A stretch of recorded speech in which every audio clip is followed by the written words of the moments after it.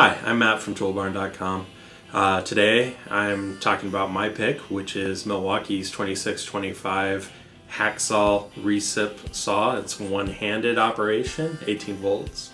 And uh, reason I like it is that one-handed operation. Um, say you need to steady your material, you can hold the tool with one hand, steady it with the other hand.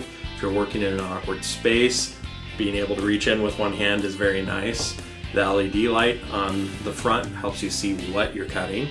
And mine at home gets a lot of use. Uh, I throw in a pruning uh, blade and then I trim back trees, uh, you know, branches and whatnot. Uh, one other pro tip here, if you uh, plan on cutting a lot with it, bring a pair of work gloves along. You can find out more about this by going to toolbarn.com and searching for 2625 from Milwaukee. Thanks.